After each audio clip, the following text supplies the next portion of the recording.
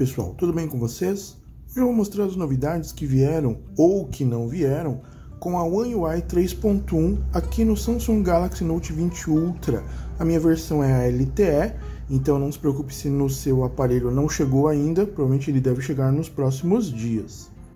Uma das coisas que não vieram aqui é o Google Discover, né? na verdade a possibilidade de escolher entre Samsung Free e o Google Discover aparentemente vai estar disponível apenas para o Galaxy S21, S21 Plus e S21 Ultra. Outra coisa que também não aconteceu aqui é vindo aqui no aplicativo de telefone, nos três pontinhos, configurações, plano de fundo de chamada, plano de fundo, não existem outras opções aqui disponíveis nativamente, ao contrário do que se vê no Galaxy S21, S21 Plus e S21 Ultra. Então essa novidade não veio para nós. Outra coisa que também não veio foi um recurso de câmera aqui, que é a visão do diretor, né? Ele não está disponível para nenhum aparelho que não seja o S21, S21 Plus e S21 Ultra também. Outra coisa que também não vai estar disponível é a possibilidade de mudar o fundo aqui das chamadas de vídeo. Então imagina, você poderia colocar um fundo de cor sólida ou um fundo personalizado. Imagina que legal colocar ali o fundo da base dos Vingadores ou da Enterprise, né? Não é possível fazer isso. Agora vamos falar das coisas que vieram, na verdade algumas, porque tem duas que eu não consegui entender ainda como é que funciona. Ao baixar a barra de notificações, você perceberá que as abas aparelho e mídia aparecem ali. E ao baixar toda a barra, eles vão para cima dos toggles que estão aqui. Caso você queira voltar a deixar eles aparecendo somente quando você baixa toda a barra, vem aqui nos três pontinhos, aparência do painel rápido e desative aqui. Vem concluído e você vai ver que eles não vão aparecer mais ali. Indo em aparelhos, você pode agora alternar entre os dispositivos conectados via Google Home, é o caso aqui do Chromecast, que eu tenho conectado à TV, ou aos aparelhos conectados via SmartThings, coisa que não estava disponível na One UI 3.0. A única coisa que ficou esquisito é, prestem atenção aqui, ó, está escrito dispositivos. Mas, quando nós olhamos aqui, está escrito aparelhos. Né? Então, Samsung errou, comeu bola aí na hora de colocar na nomenclatura. Poderia ser aparelhos também, ó.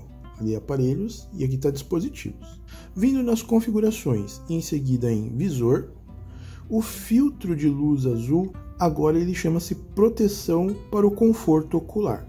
Vamos clicar aqui, ó, e nós podemos ver aqui duas opções: o adaptável, que é o que eu estou utilizando, que eu já explico como funciona, e o personalizado, que é o que nós tínhamos antigamente, é exatamente o que tinha antes. Esse adaptável ele vai ajustar ali a coloração da tela de acordo com a hora do dia. Então, conforme vai anoitecendo, ele vai ajustando a tela aqui para deixar a imagem um pouquinho mais confortável. E se nós viermos aqui, ó, nos toggles, nós vamos ver que ele mudou também. Ainda aqui nas configurações, vindo em recursos avançados, podemos ver aqui ó, a opção manter aplicativos em outros aparelhos, desde que sejam determinados aplicativos específicos, por enquanto o Samsung Internet e o Samsung Notes apenas, e desde que os seus aparelhos estejam conectados à sua conta da Samsung. Então você começa a fazer uma coisa aqui no seu smartphone e pode continuar lá no seu tablet, por exemplo. Ainda que em recursos avançados, o potencializador de vídeo mudou. Ele agora chama-se brilho do vídeo. Vamos entrar aqui dentro. Você tem duas opções, o normal e o claro. O claro equivale ao potencializado e o normal equivale ao normal. Eu prefiro deixar o normal porque eu não gosto de vídeos tão claros assim. Agora fica mais evidente para nós o que, é que o potencializador de vídeo fazia, que era simplesmente deixar o vídeo mais claro. Se você antes tinha receio de deixar marcado na sua câmera esta opção aqui, ó, marcas de localização, porque quando você compartilha uma foto, a sua localização, tanto por meio do mapa como de endereço, pode ser compartilhado com outras pessoas, agora você pode ficar tranquilo. Vamos pegar aqui uma fotografia qualquer, vamos clicar aqui em compartilhar e você pode clicar aqui, ó, remover dados de localização. Então, dessa forma, a sua localização não vai ser transferida junto com o arquivo. Ainda aqui na galeria, Se você clicar aqui ó, no botão editar e vier aqui nos três pontinhos, vindo em Labs, você pode ativar aqui o apagador de objetos. Então, por exemplo, vamos pegar esta fotografia aqui. Então, basta nós irmos aqui ó, nesse ícone de edição. Quando você vem nos três pontinhos e deixa ali habilitado o Labs, a função de apagar objeto fica ali na parte de baixo. Vamos clicar aqui no objeto que nós queremos apagar e vamos clicar em apagar. Pronto, objeto apagado. Claro que ele não é perfeito, mas já é um quebra-galho muito bom. Aqui no aplicativo de relógio, agora existe esta função que nós estamos vendo aqui em cima, ó, que é a função definir a hora de dormir. Essa função permite que você ajuste aqui o horário em que você vai para a cama e o horário que você acorda, tendo aqui estimado inclusive o tempo de sono mais ou menos. Você pode colocar aqui um lembrete para te avisar que está chegando perto da hora de você dormir e aqui você escolhe os dias em que isso deve ser feito. E aqui nós ativamos. Pronto, você vai ser lembrado na hora, a hora de ir para a cama. Aqui na câmera, o modo single take ele mudou. Agora você pode clicar aqui em cima e selecionar os modos que você quer que sejam capturados quando você clica aqui no single take. Para desmarcar, basta clicar em cima. Para marcar, basta deixar assinalado ali as opções. Quando nós entramos no modo de vídeo, nós podemos ver que agora podemos selecionar a resolução do vídeo simplesmente clicando ali naquela parte de cima. Então podemos escolher todas as opções disponíveis aqui. Ainda aqui no modo de câmera, dois modos somente mudaram de nome, continuam a mesma coisa, que é o modo retrato, que antes era o foco dinâmico, e o vídeo em retrato, que antes era o vídeo em foco dinâmico somente houve a mudança de nome, a função continua sendo exatamente a mesma. Aqui nas configurações, vindo em som e vibração, nós podemos ver que o padrão de vibração agora está dividido em dois, um padrão de vibração de chamada e um padrão de vibração de notificação. Antes eram uma coisa só, permitindo então que você faça uma melhor configuração aqui de como você quer que o padrão de vibração aconteça para chamadas e para notificações. Outra coisa que veio aqui o Private Share. Na verdade, você já podia ter isso daqui baixando o aplicativo pela Galaxy Store, mas se acontecer com você algo que acontece comigo aqui, ó, vou clicar em concordo. Veja só, ele não consegue identificar o número no meu chip, no meu SIM card. Isso não acontece só agora, isso sempre foi assim. Eu vou até mostrar para vocês aqui. Vejo que o meu SIM card 1 não aparece aqui o número fica como número desconhecido, né? Aqui embaixo está o número que eu utilizo aqui para o canal e aqui ele aparece como número desconhecido. Sempre foi assim, desde que eu utilizei a TIM até quando eu mudei para Vivo. Nunca nunca mudou isso daqui. Eu até hoje não sei o motivo e o pessoal lá também não sabe explicar. Então, para funcionar, eu tenho que ter um um SIM card cujo número seja identificado.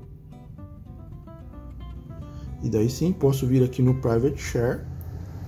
Ele não vai permitir utilizar o chip número 1, porque o número é desconhecido, mas o 2 ele permite.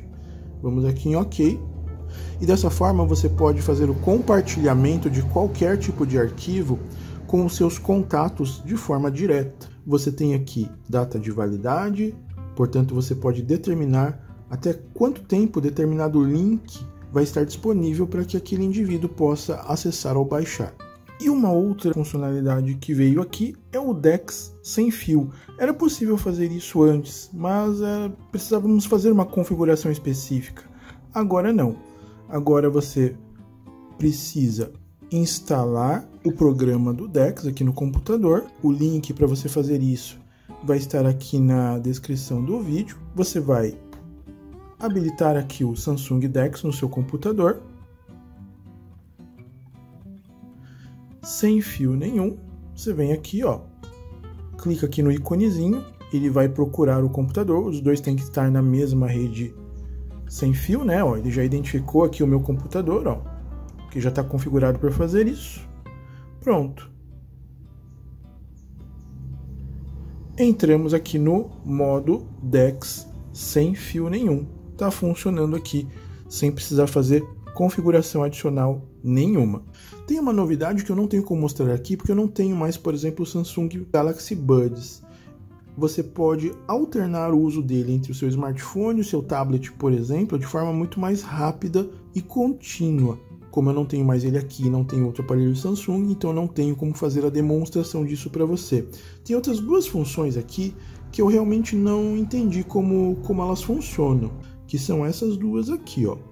Uma aparentemente no calendário, ó, extrair a data e o endereço do título do evento e recomendar o registro automático, receber notificações dos aparelhos, eu imagino que conectados à mesma conta Samsung, e a outra esta daqui, extrair a data e o endereço de memorando do lembrete, recomendar o registro automático e lembrar informações importantes por situação.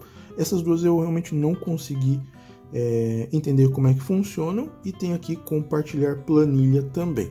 Então essas foram as novidades que nós vimos aqui na One UI 3.1. Infelizmente, duas coisas que eu queria muito, que era a visão do diretor, porque ia me ajudar muito em aulas remotas e também o, o Google Discover ao invés ali do Free, né, do Samsung Free, é, infelizmente não vieram aqui na One UI 3.1. Tomara que na próxima atualização eles liberem isso daí ou daqui um tempinho. Provavelmente estão segurando essas novidades porque elas vieram no Galaxy S21, S21 Plus e S21 Ultra.